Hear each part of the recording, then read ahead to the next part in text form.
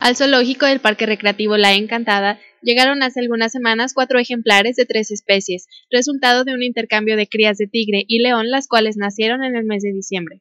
Un ejemplar de cebra macho, un dromedario hembra y tres búfalos de agua fueron recibidos por personal del zoológico para el disfrute de todos los asistentes, sumándose a las más de 30 especies que se encuentran en exhibición, comentó José Javier Romo Camacho, director del parque. Llegaron ahora el mes pasado, en diciembre, el día 20 llegó la cebra y, y el camello, el dromedario, y luego el día 24 de diciembre el resto que fueron los, los tres búfalos. Los búfalos son de aquí de Zacatecas, del estado, vienen de Fresnillo, del zoológico de ahí de la, o de la UMA de ahí de la mina. Hicimos el intercambio por tres leones cachorritos y ellos nos... Fue un león cachorrito que lo cambiamos por otro búfalo macho, que ese yo pienso que llega entre este mes y el que sigue, para que no fueran eh, de la misma sangre, ¿no? que no tuvieran consanguinidad. Los cuatro tigres fue el intercambio por, eh, precisamente por el dromedario y la cebra. Entre las eh, tres especies a lo mejor se andan comiendo alrededor de una paca